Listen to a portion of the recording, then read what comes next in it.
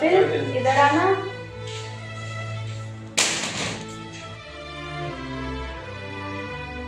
घर का काम तो तूने सारा ही कर लिया होगा ना? हाँ मालकिन मैंने घर का काम तो सारा कर लिया लगभग। चल सही है। वैसे ना इस महीने तेरे दो हज़ार रुपये हुए हैं। मालकिन मुझे हर महीने तुम तीन हज़ार रुपये देती हो तो आप इस बार मुझे इतने पैसे कम क्यों दे रही हो? तुझे नहीं पता मैं तुझे कम पैसे क्यों दे रही हूँ? मुझे तो याद नहीं आ रहा आप ही बता दो। तूने ना इस महीने में ना पाँच पाँच सौ रुपये करके दो बार उधार लिए हैं। मालकिन मेरे याद नहीं रहा मैं भूल गया था। चल कोई बात नहीं। मालकिन इस बार मुझे कुछ ज़्यादा पैसे मिल जाते तो उन साहब का कुछ ज़्यादा ही उधार हो गया है तो मैं उनका उधार तार दूँगा। मैं तुझे ना इससे ज़्यादा पैसे नहीं दूँगी। तू ना मेरा दिमाग खराब मत कर। एक तो तू काम ठीक से करता नहीं है और ऊपर से हमेशा पैसे मांगने आ जाता है। मालकिन मेरी मजबूरी है इसलिए पैसे मांग रहा था वरना मैं आपसे कभी भी पैसे नहीं माँगता। देख मजबूरी ना सभी को होती है अब मैं सबकी मदद करती फिरूँ क्या? मेरा वो मतलब नहीं था मालकिन।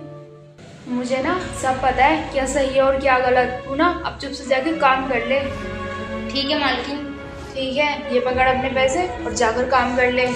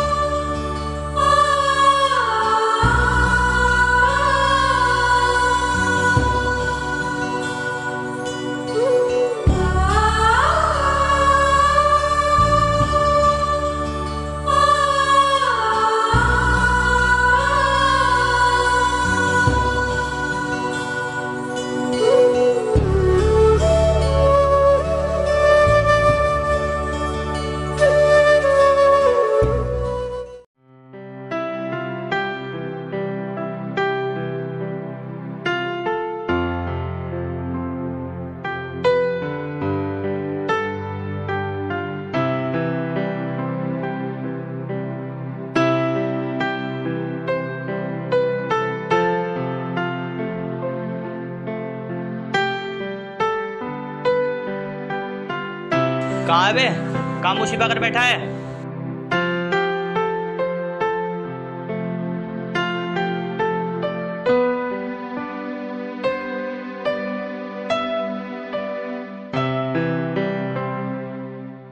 भैया कौन हो आप? और किसके बारे में पूछ रहा हो? मेरी छोड़ ये बता कपिल नाम का लड़का कहाँ है? उसने ना मुझसे पैसे उधार लिए हैं पूरे तीन महीने हो गए और उसने वापस नहीं किए।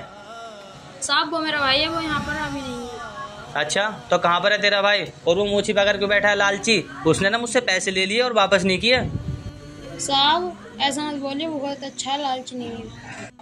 मुझे मत बता वो कैसा है कैसा नहीं है। मैंने उसे अच्छे से जानता हूँ। वो लोगों से ना पैसे खाता है। और जब पैसे वापस करने का नंबर आता है तो मुँह छिपा कर बैठ जाता है। साहब मैं मानता हूँ मेरे भाई ने पैसे उधार लिए होंगे मगर वो वैसा नहीं है जैसा आप बोल रहे हो। तो फिर तू ही बता दे वो कैसा है? तू तुझे अच्छे से जानता होगा क्योंकि वो तेरा भाई है। साहब वो पैसे उधार मेरी वजह से लेता है क्योंकि वो मुझे पढ़ा रहा है। अच्छा तो तू है उस सब की जड़? वो लोगों से पैसे तुझे पढ़ाने के लिए लेता है? हाँ साहब। अबे वो बेवकूफ़ तू कहाँ जाएगा पढ़ लिख कर? एक बार अपनी हालत तो देख तू कितना गरीब है। साहब पता है मैं गरीब हूँ मगर मैं पढ़ना चाहता हूँ। तुम जैसे गरीब लोगों को ना मैं अच्छे से जानता हूँ। स्कूल में पढ़ने जाने का नाटक दिखाते हो और जब कुछ बस की ना होता तो सिगरेट दारू पीने लगते हो। साहब मैं ऐसा नहीं हूँ जैसा आप सोच रहे हो। मैं पढ़ लिख कर नौकरी हासिल करना चाहता हूँ। अबे ओए तुझे कोई नौकरी वोकरी नहीं मिलने वाली? अब तू ज़्यादा मत बोल मुझे ना बहुत गुस्सा आ रहा है। ठीक है साहब मैं अब कुछ नहीं बोलूँगा। हाँ हाँ ठीक है। और वो आए ना तो उससे कह देना कि मैं पैसे लेने के लिए आया था। ठीक है मैं कह दूँगा। चल ठीक है। कह देना उससे।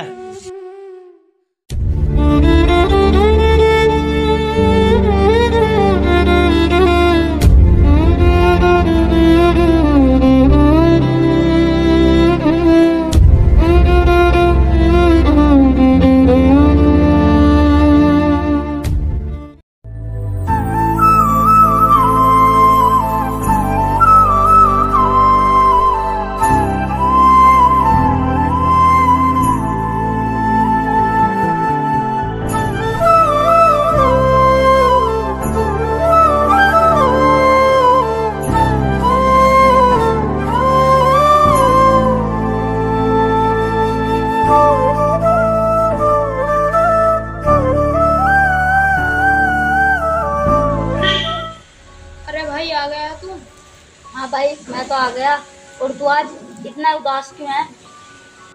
वो ना भाई आज घर पे कोई आया था वो तेरे बारे में पूछ रहा था। क्या? कौन था वो?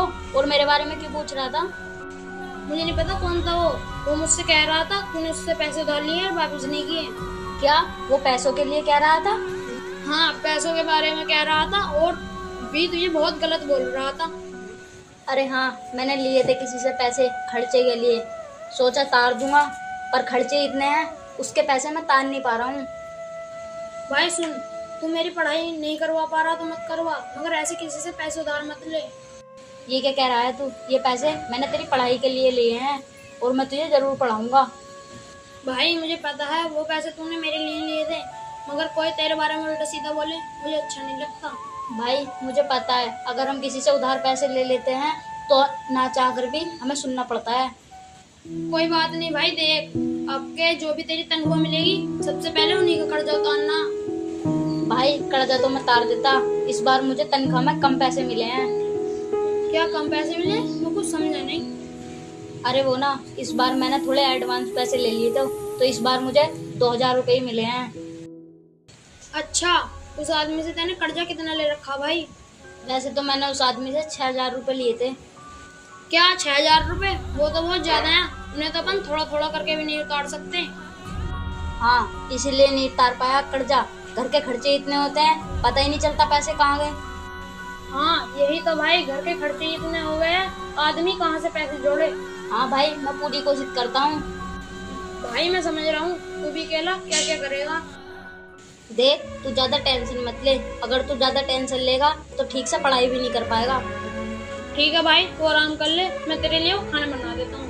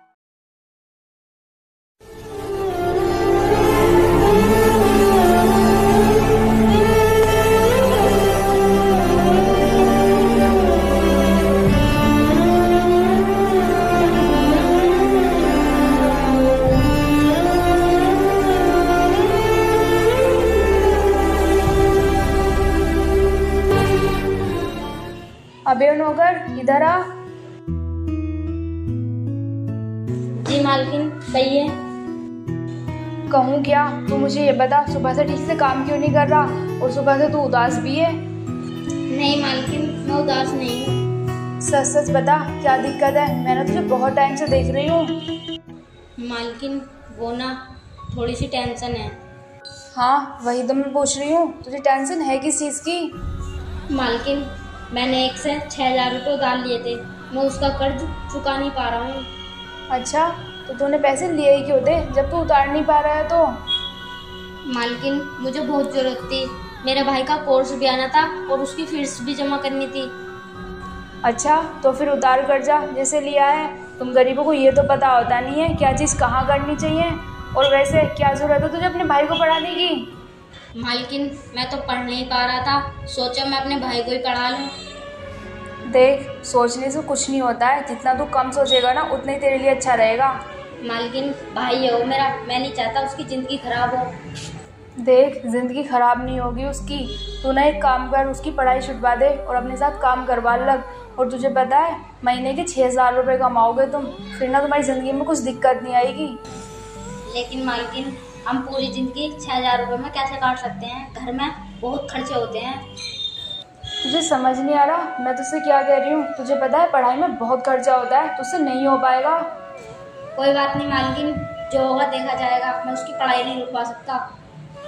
क्या? तू उसकी पढ़ाई नहीं छुड़वा सकता? देख मेरी बात मान ले। तू ना फ़ायदे में रहेगा वरना बर्बाद हो जाएगा। लेकिन मालकिन मैं उसकी पढ़ाई नहीं रुकवा सकता। क्या? तू पढ़ाई नहीं रुकवा सकता उसकी? देख तू ना कटोरा लेके घूमेगा ना सड़कों पे जब तुझे पता चलेगा। मैं सही कह रही थी। कोई बात नहीं मालकिन मुझे खड़ो ही बहुत टाइम हो गया है। अब मैं घर का काम कर लेता हूँ। ठीक है, जा फिर कर ले काम, नहीं सुन रहा तो।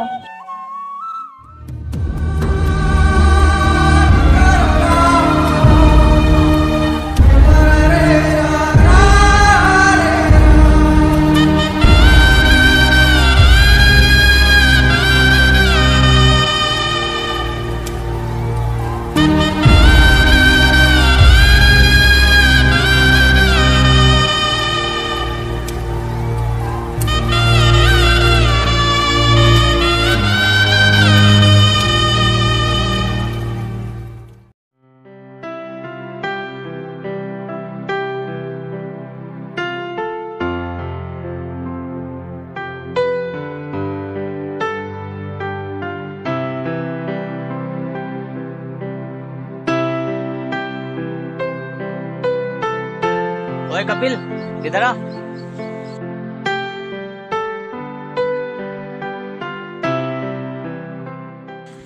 अरे साहब आप यहाँ?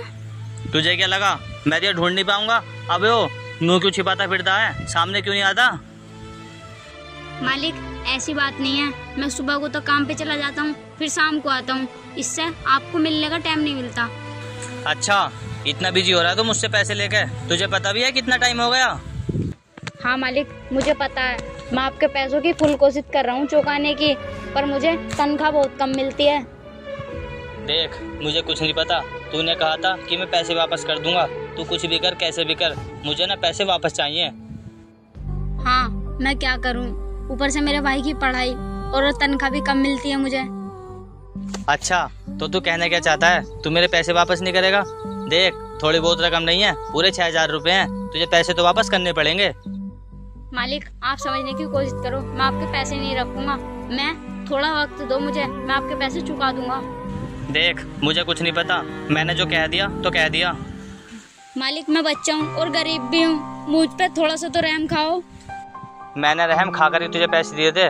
अब और रहम नहीं खाई जाती मुझे तुझ पे। ठीक है मालिक अगर ऐसा है तो मैं आपके पैसे जल्द देने की कोशिश करूँगा।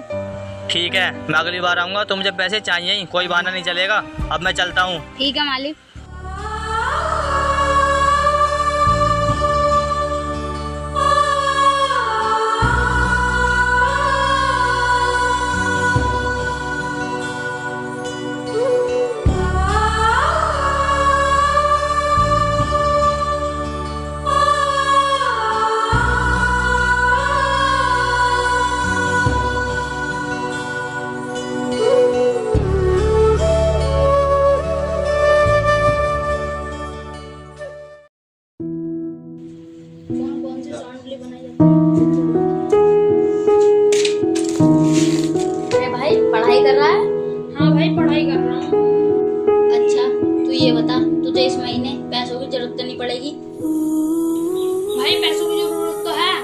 की फ़ीस जमा होगी और एक्स्ट्रा पैसे जाएँगे। अच्छा भाई। हाँ भाई। भाई मैं ये कह रहा था मैं इस बार तेरी फ़ीस जमा नहीं कर पाऊँगा। लेकिन भाई क्यों? कुछ परेशानी है क्या? हाँ परेशानी है। वो ना साहब मुझसे कह रहे थे साहब के पैसे वापस करने हैं। लेकिन भाई मेरे पेपर पास में आ रहे हैं फ़ीस जमा नहीं करी तो परेशानी हो जाएगी। भाई मैं क्या करूँ? साहब ने मुझे धमकी दी है। अगर मैंने उनके पैसे वापस नहीं किए तो घर में आकर कुछ ना कुछ कर देंगे वो। कोई बात नहीं भाई जब ऐसी बात है तू सबके पैसे वापसी कर दे। भाई मुझे साहब के पैसे देने ही पड़ेंगे। पर तू फ़िक्र मत कर मैं तेरी फ़ीस का इंतज़ाम कहीं से कर दूँगा। ठीक है भाई। चल ठीक है अब मैं मालकिन के यहाँ काम करने चला जाता हूँ। ठीक है भाई चला जा।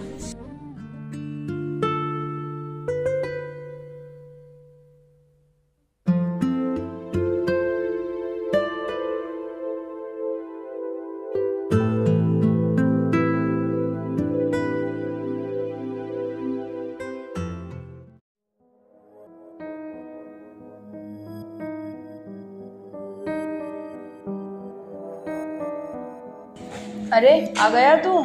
हाँ मालकिन मैं आ गया। अच्छा वैसे तो मुझे ये बता कल जब तू काम करके घर गया था तूने मेरे पैसे देखे थे क्या अंदर पड़े हुए? मालकिन मैंने कल सब में साफ़ सफ़ाई की थी मुझे तो कहीं पैसे दिखाई नहीं दिए। देख कल से ना मेरे पैसे नहीं मिल रहे हैं मुझे लग रहा है घर में किसी ने लिए हैं। देख अगर तूने लिए हैं तो बता दे मैं तुझे कुछ नहीं कहूँगी। नहीं मालकिन मैंने पैसे नहीं चुराए और मैं आपके घर में से पैसे नहीं चुराता। पक्का? तूने नहीं चुराए सोच ले एक बार और। मुझे ना झूठ बोलने वालों से बहुत नफरत है। मैं सच कह रहा हूँ मैंने नहीं लिए।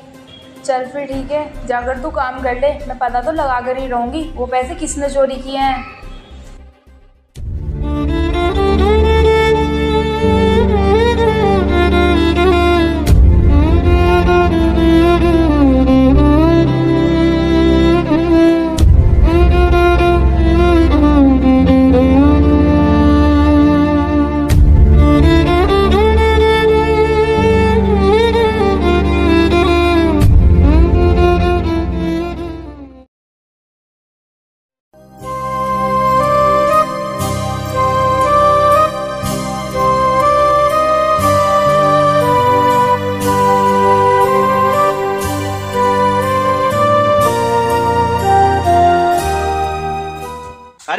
कहाँ तेरा भाई? आज मैं उसे छोड़ूँगा नहीं। साहब वो काम पे गया है। जब आ जाएगा आपके पैसे दे देगा। झूठ मत बोल। बहुत सुन लिया तुम भाइयों का नाटक। या तो वो मेरे पैसे देगा वरना आज मैं उसे छोड़ूँगा नहीं। साहब आप गुस्सा मत करो मैं कह रहा हूँ ना आपको पैसे दे देगा। तेरे लिए ना यही अच्छा रहेगा तू चुप रह। मुझसे तेरी फालतू की बकवास नहीं सुनी जा रही। साहब आप इस तरह मुझे क्यों मार रहे हो? मैंने तो आपसे कुछ कहा भी नहीं। मैं तुझे मारूँगा। तू रोक सकता है क्या? साहब ये तो आप गलत कर रहे हो। आप ऐसे मुझे कैसे मार सकते हो? अरे ओ तू मुझे अब ज़्यादा घमंड दिखा रहा है। तू अपने आप को समझ क्या रहा है? मैं तो अपने आप को कुछ नहीं समझ रहा। आपको देखना चाहिए आप किस पे हाथ उड़ा रहे हो किस पे नहीं। अच्छा तू शेर बनकर दिखा रहा है मेरे सामने। अबे तू मुझसे जवान लड़ा रहा है। तेरी औकात क्या है?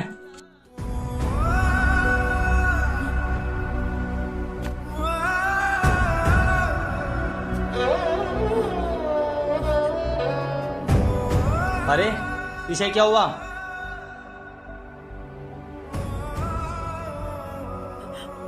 अरे, ये क्या? ये तो मर गया। इसकी तो जान चली गई। मुझे ऐसा निकल जाना चाहिए जल्दी से जल्दी। इससे पहले कोई देखे, वरना मैं ना फंस जाऊँगा।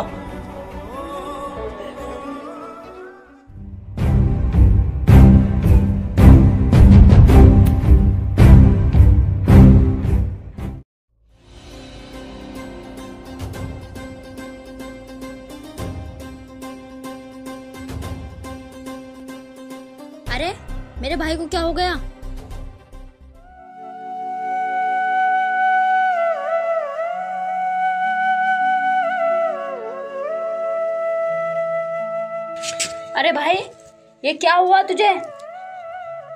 और ये सब किसने करा तेरे साथ? भाई तू मुझे छोड़कर नहीं जा सकता।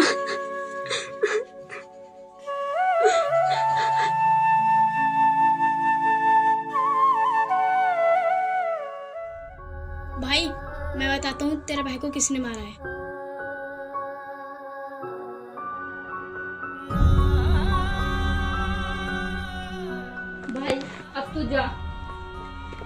भाई के साथ जिसने भी ये सब किया है मैं उसे ज़िंदा नहीं छोड़ूँगा।